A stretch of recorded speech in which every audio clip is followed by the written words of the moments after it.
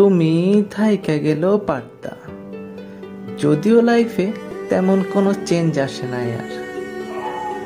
শুধু দাঁড়াইতে হয় না তোমার বারান্দার ঠিক নিচে। চায়ের দোকানদার এখনও অবাক হয়ে জিগায়, কি রে, বিড়ির লগে তুইও পুরস?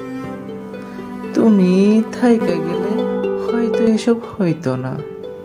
আমিও একটা চাকরি হই জানিতাম সকালে বাইর হইলে সন্ধ্যায় বাড়ি ফিরতাম। তখন হয়তো আমার এই ভালোবাসতাম এখন যেমন বাসো, অন্য কাউরে। তুমি থাইকে গেলে ঢাকা শহরে আমি জাদুর শহরে ভাবতাম। ঘণ্টা খানেকের জ্যামে দোতলা বাসে। তোমার আমার গল্প শুই না যে লোক বিরক্ত হইতো, সেই লোক হয়তো এখনও খোঁজে আমাগরে। বিরক্ত হইতে চায়। তারে বিরক্ত হইতে দিবা?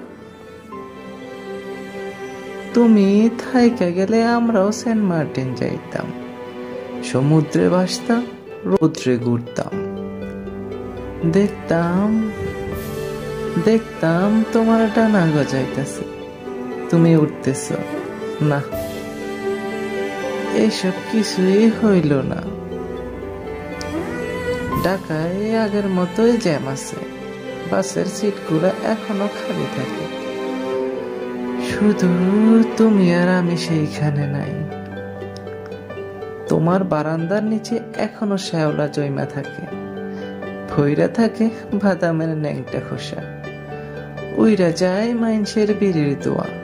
শুধু আমি আইসা দাঁড়াই না। তুমি থাইকা গেলে আমি একটা বাসা নিতাম। গড়ে উঠাইতাম হাউস বিল্ডিং এর পুরান ফার্নিচার। একটা টিকটিক করা দেয়াল গড়ি। তুমি এইসব করতে দিলে না। আমার পয়সা বাঁচাইলা। আমি হালার জানবারে পারলাম না, তুমি আমার এত ভালোবাসতা।